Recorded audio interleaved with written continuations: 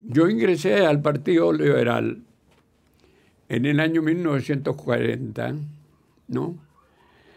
Eh, con en mi vida se vivió siempre la política liberal.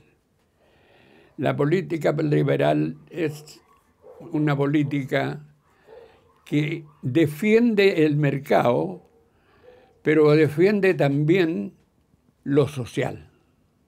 De tal manera que yo me dediqué a atender la economía social de mercado, ¿no? Y en esta economía social de mercado está mi propósito de trabajar.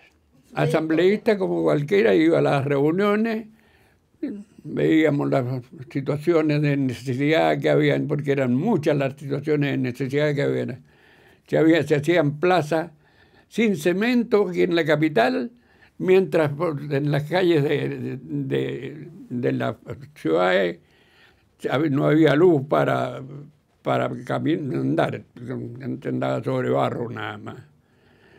Entonces, me interesó mucho tanto eso, que como siempre vi a mi padre trabajar, que era un hombre muy, muy querido, y que, perdóneme que que decirlo, que son los de los funerales suntuosos que he visto en mi vida, fue el de mi padre.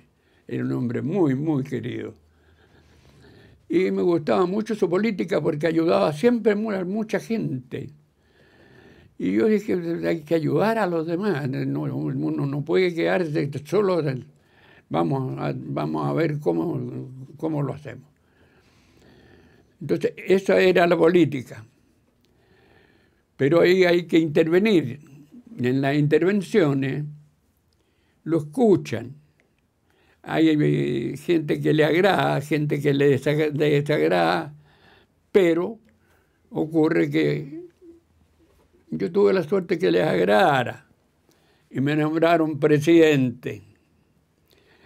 Después de eso me nombraron delegado comunal o sea, de la comuna, yo tenía que ir a la, Asamblea General, eh, quiero decir provincial, ¿no?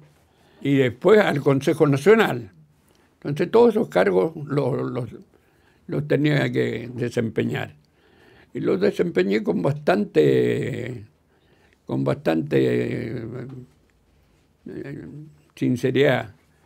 Y recuerdo, sí, una cosa que debo decirle y recalcarle, que cuando llegué allá a la Cámara, el, tesorero de la Cámara, los empleados de, categoría, digamos, de la Cámara, se tratan de tú con los parlamentarios. Además, el don no existe. En, usted dice, eh, Patricio, ahí tiene una foto de Patricio Elwin, con una dedicatoria.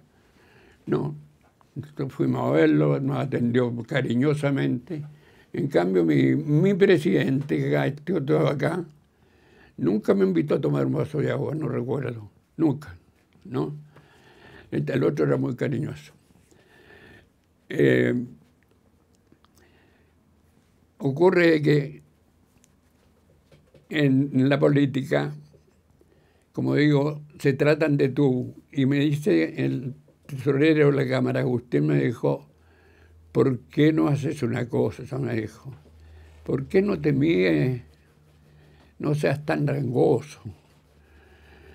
No sería el primer diputado que yo veo que llega rico y sale pobre.